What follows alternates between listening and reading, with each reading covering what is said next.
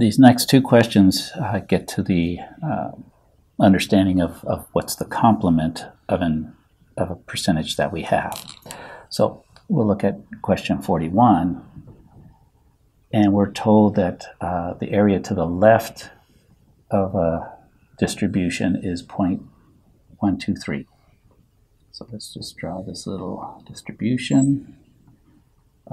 We know that this would be 50% or 0.5 is the mean. So 0.123, I'm just estimating, is probably like out here.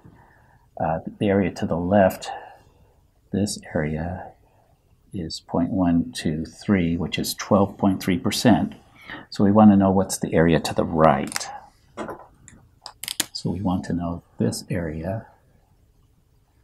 And so we use the, the complement we know the whole thing is 100% or 1.00. We subtract the 0.123. Let's put another zero up there. If we subtract these two, what this will give us is the area to the right.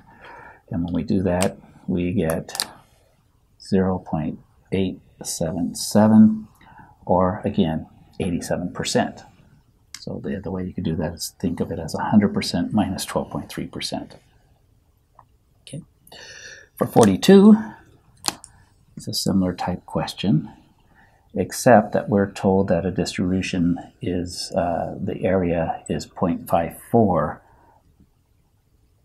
uh, the area to the right of that, dis, uh, of that amount. So you know, we've got this, we've got this, here's our mean we know to the right of this, to the mean, is 50%. So 54%, um, probably somewhere like here is an estimate.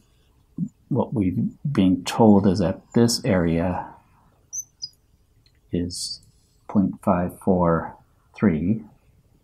And the question is, what's the area below?